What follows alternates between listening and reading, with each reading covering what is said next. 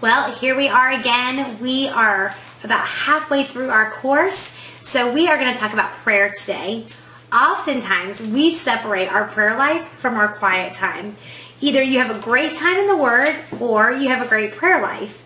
But I think that it should be both. I know it's hard to seem, it might seem hard to balance both, but I really think that those two things go hand in hand and that you can really have them both. Prayer is our time of response to the Lord. It's when we share with God. It's when we talk back. Not talk back in a negative way, but it is when we engage back with Him. Prayer is meant to be a constant conversation with God. Um, and I believe our prayer time with God is a vital part of our quiet time. And it's the time that we begin that day, that whole day conversation.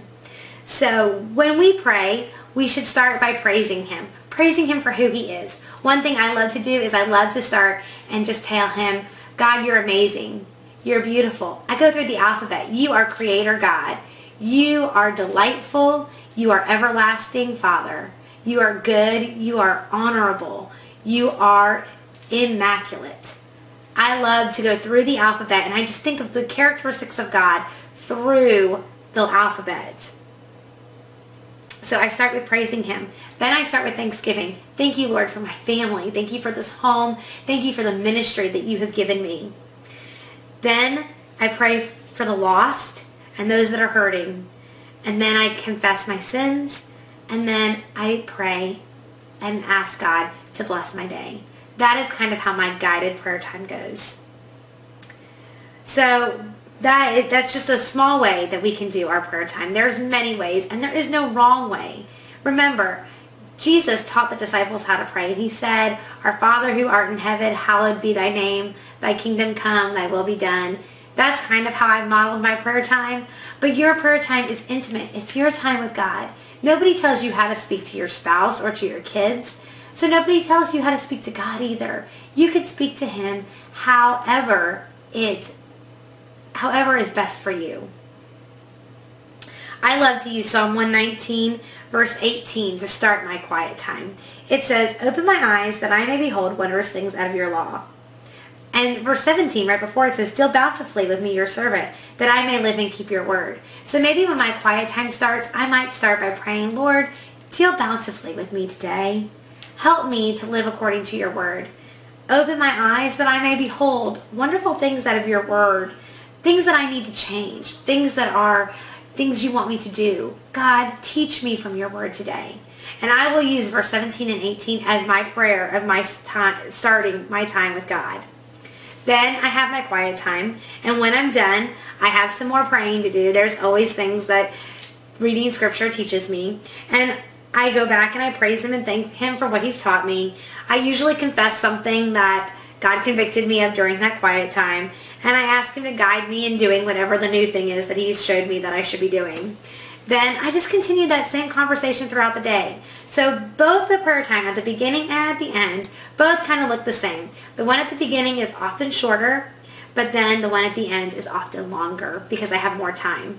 And then I don't have to be sitting still and I don't have to be quiet anymore. I can begin to pray those things while I'm washing the dishes or doing the laundry or homeschooling or working or any of the things I'm doing. I can be praying those prayers of thanksgiving and praise and all that thing. I can do that while I go throughout my day. I no longer have to sit and be very still to do that. Our prayer time should be ongoing and it shouldn't just revolve around food. I think that is the hardest things for Christians. We pray when somebody's sick, when somebody's hurting, or when it's time to eat. And our prayer time should be so much more than that. I hope that you see that through through our time here today that it's supposed to be deep. It's supposed to be meaningful. My friend Rosalind over at A Little R&R her blog is rosalindjanique.com, and I'm going to link to that at the bottom. She does wonderful prayer challenges, and she is going to be doing a prayer course and a prayer Bible study, and so I'm going to link to her because she has an amazing prayer life. That woman prays for me, and I know things happen. So I am not going to go into a lot of details on prayer because I think she does it so much better. So I am going to link to some posts and some resources below this video today that I think are awesome on prayer. But just know this, prayer is your constant conversation with the Lord. It is you talking to him and you can't go wrong in talking to your father because he loves you so much. So today for our homework, I know that was really quick, but we got right to our homework. We are going to look specifically at Psalm 119, verses 17 through 24. I would like you to do a couple things. One, to use it as your daily quiet time, as we did, like we did yesterday. And two, I would like you to rewrite verses 17 and 18 as your prayer back to God. I showed you how I would do it. Um, but I'll show you in a picture below or in a um, little snippet below the video. But just rewrite your prayer back to God and use those verses to do that. So I hope that this was helpful. And tomorrow we are going to be talking about accountability and how accountability is a big part of our quiet time. Maybe the part that most people are missing. So in the meantime, remember to worship God with your life.